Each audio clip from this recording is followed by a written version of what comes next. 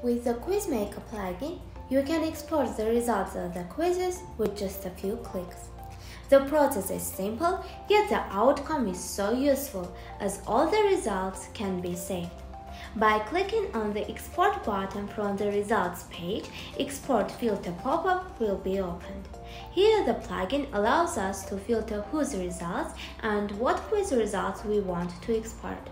Here you can see two fields, users and quizzes. So you can filter by users by clicking on the field and selecting the users. Also you can filter by quizzes by ticking on the quizzes field and selecting the quiz you need.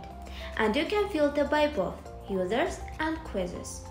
By ticking on the Include guests who do not have any personal data checkbox, you include those non-logged in users' results who have not inserted any personal data such as name and email.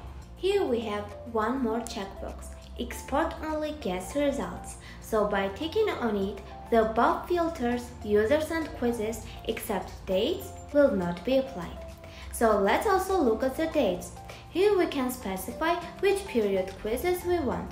Just attentively choose the period. The QuizMaker plugin provides us with three file formats for exporting results CSV, XLSX, and JSON. So choose the best variant for you and export the results effortlessly.